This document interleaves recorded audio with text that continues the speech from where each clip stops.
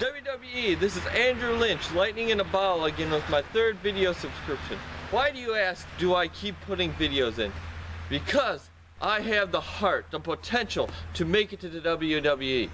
And not just that, you had somebody else submit a video that just boiled my blood, got me angry. His name is Keith Apicary.